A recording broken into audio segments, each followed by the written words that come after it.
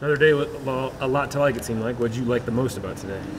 Uh, Isaac Ayon's pitching performance. He was in command of it, and the pitching in general was really good. You know, when Isaac passes the ball off to, you know, to Caleb Sloan, and then uh, and Scott Ellis was okay, and I thought that the youngster uh, Hughes at the end of the game looked and. Uh, you know, really looked good out there, um, and that's a couple times now in a row where Hughes has looked really good, and so that's been fun to see young people handle adversity. But you know, and obviously scoring runs is fun, you know. And so people who come to the field and they want to see offense, they got to see offense today. They they got to see good pitching and good defense. It was it was a well-rounded deal. When Isaac was cruising early, was that the best version of him that you've seen in a game, maybe? Um. For a for an extended period, maybe. Um, you know, scrimmages, he's been crushing it. Um, and then there were stretches last year where he was unhittable. Um, and then today he just was more efficient with his pitches, and it just seemed like he was in better control of his body. I think you mentioned Friday, coming off last week, wanting to just be maybe a little more aggressive on the bases, just be smarter on the bases. It seemed like you guys took a lot of bases. They call them free bases, but you gotta you gotta work for them, advancing on wild pitches, reading reading balls in the dirt, things like that. How much of an impact do you feel like that had today? Well, I thought that had a negative impact on us last week, and I thought the team we played last weekend uh, did a nice job on that. And I think our guys saw that and saw how, um, you know, it can be a real benefit offensively and a real crusher on the other side of the ball when you're playing defense, and they're doing that stuff, and and it's not. Um, it's not being combated by throwing guys out, basically blocking and recovering and stuff like that. So, yeah, we were able to steal some bases, advance on some balls in the dirt. Um, ultimately, you know, it comes down to a free base deal, and there was a lot of looseness um, with walks and stuff like that that give us opportunities to have base runners. But I was really pleased with how they ran the bases. They were aggressive, and they have been aggressive now for three days. Little different offensive approach today. No home runs, but lots of lots of singles, lots of doubles string together. You know, what did you see from your offense?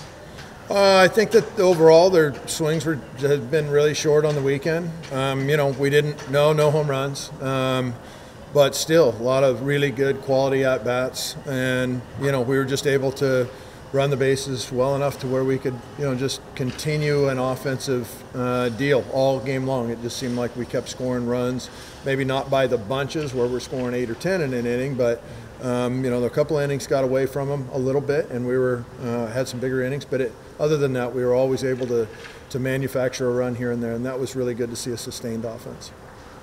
Tomorrow, maybe a test of seeing if you guys weren't just satisfied winning the weekend that can, can close it out the right way.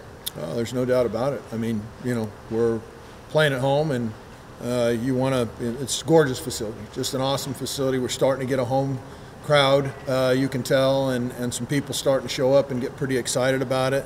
Um, and that's that's a lot of fun. Uh, a lot of that has to do with us. We need to put a quality product out there, and when we do, then I think people are going to come. This is a huge sports town. They want to see good baseball, and as long as we're providing that, I know the place is going to be packed, and it's starting to get exciting for that. I think the guys are feeling that, and uh, they're excited for tomorrow.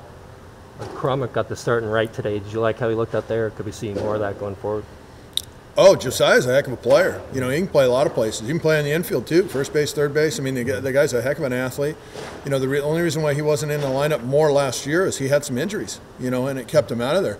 He swings a heck of a bat. I don't think he had quite the day-to-day offensively that we've seen now that he's capable of, but he fills up the box in in uh, in his hitting. You know, he's always in there, very competitive out at the dish, and my goodness, he can really go get the ball in the outfield. He's got a plus throwing arm he, he can provide a lot of different things for us, and it's I'm happy he's here. He's a really good kid and a really good baseball player.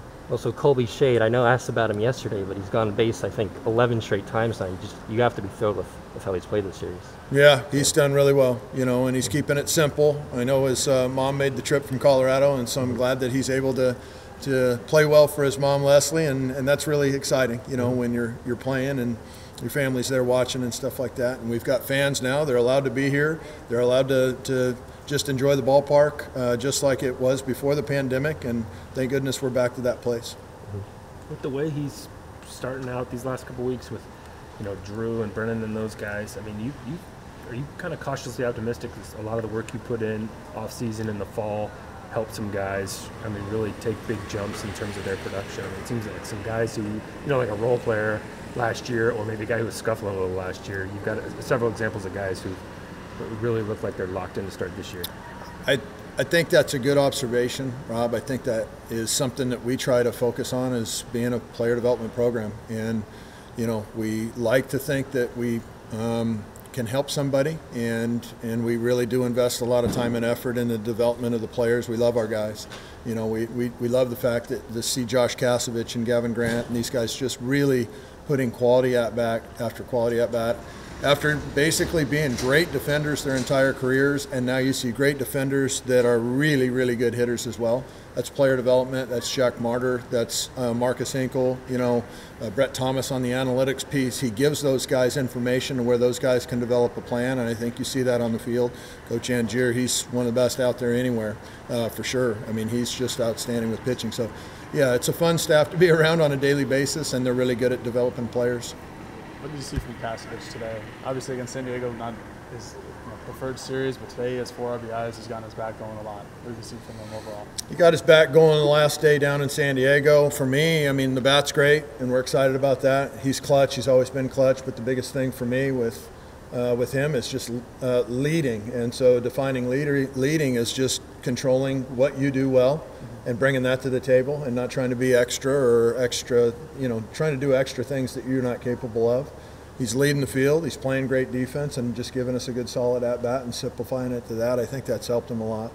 Um, you know, I'm happy for the kid. He's a really, really good kid, and he's a great player.